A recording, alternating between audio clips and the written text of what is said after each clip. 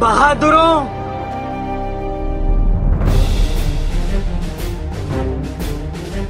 ये कहानी है। तुम मुझे खून दो।